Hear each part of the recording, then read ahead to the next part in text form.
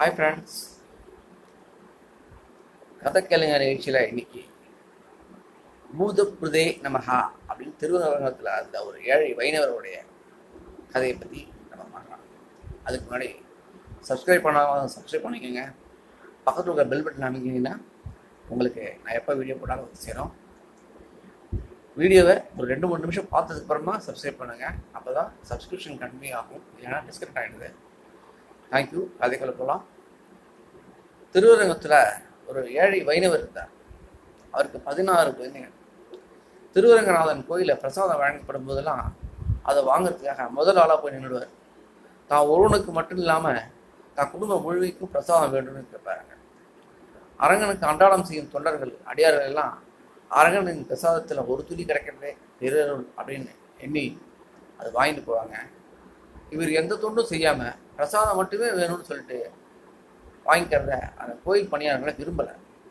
குறத்த குரலாக அர்ச்சகர் இவரை விரட்டுறதுல தினமும் கோயிலில் ஒரு பூச்சி குழப்பம் ஏற்படும்.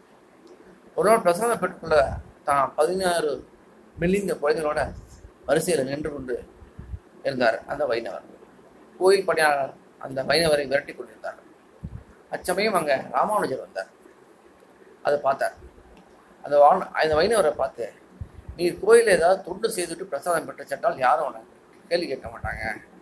அப்படி அதனால் நீ பிரசாதம் பெறணுங்கிறதுக்காகவே இரவு பகலாக எங்கள் கோயிலில் வந்து நின்று இருக்கிறவங்களால இந்த மாதிரி கூச்சல் குழப்பம் ஏற்படுது அப்படின்னு சொல்லி ராமானுஜர் அவர்கிட்ட கேட்டார்.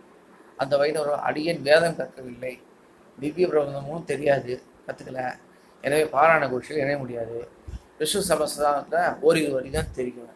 இப்படிப்பட்ட நாய் என்னோட பதினாறு குழந்தைங்களுக்கு உழவு உணவளிக்க வேற என்ன வழி? அப்படின்னு சொல்லி ராமானுஜர்கிட்ட கேட்டார்.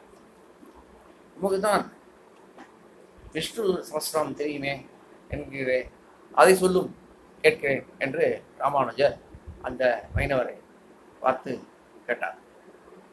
அப்போது அந்த வைணவர் விஸ்வம் விஷ்ணு வஷட்காரோ என்று சொல்லத் தொடங்கினார்.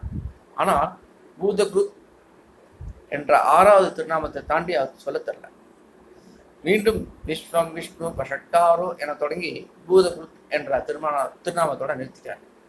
அடியனை மன்னிக்க வேண்டும் என்று திருமண திரு ராம ராமா ராமானுஜர் திருவடியில் விழுந்துட்டார்.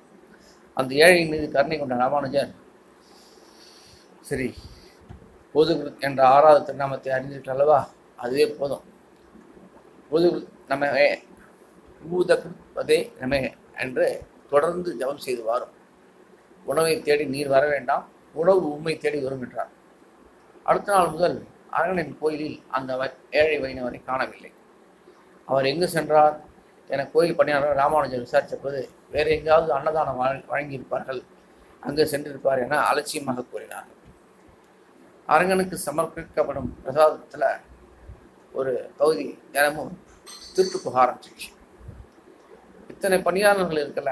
யாருக்கும் தெரியாம உணவை திருடி செல்றது. யார் அந்த மயத்திரன்னு திருடன்னு தெரியலையே அப்படின்னு சொல்லிட்டு எல்லாரும் ஆச்சரியப்பட்டு ராமானுஜர்கிட்ட கேட்டுட்டு இருந்தாங்க. ராமானுஜர் வந்து எவ்வளோ நாளாக இது நடக்குது? அப்படின்னு சொல்லிட்டு வந்து கேட்டுட்டு இருந்தார். நீங்கள் இந்த ஏழை கோயிலுக்கு வர வேணாம்னு சொன்னீங்க இல்லையா? அன்னைக்குலேருந்து ஆரம்பிச்சது இந்த திருட்டு. எனவே அந்த வைரவருக்கும் எதற்கும் ஏதோ தொடர்பு இருக்கணும் அப்படின்னு சொல்லிட்டு பணியாளர்கள் சொன்னாங்க. அந்த வைணவர் எங்கே இருக்கார் பாருங்க. தேடி கண்டுபிடிங்க அப்படின்னு சொல்லி மா ராமானுஜர் கோயில் பணியாளருக்கும் உத்தரவிட்டார்.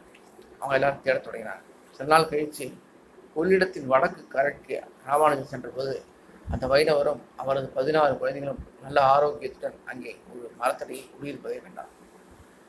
ராமானுஜரை கண்டதும் அந்த வைணவர் ஓடி வந்து அவர் திருவடிகளை வணங்கி சுவாமி அந்த பையன் தினமும் இருமுறை என்னை தேடி வந்து பிரசாதம் வழங்கி கொண்டிருக்கிறான். நானும் பூத பூதை நம்ம என தினமும் ஜபம் செய்து வருகிறேன் என்றார். எந்த பையன் என்று வியப்புடன் கேட்டார் ராமானுஜன் அவன் பெயர் அழகிய மணவாள ராமானுஜதாசன் என்று சொன்னான் என்ற என்றார் அந்த ஏழை.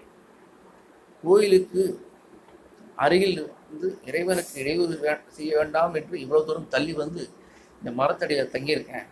ஆனால் உங்களது தெய்வீக பார்வை என் இருப்பிடத்தை கண்டெடுத்து கண்டுபிடிந்துட்டு போடும் சரியாக பிரசாதம் என்னை தேடி தினமும் வருகிறது என்றார்.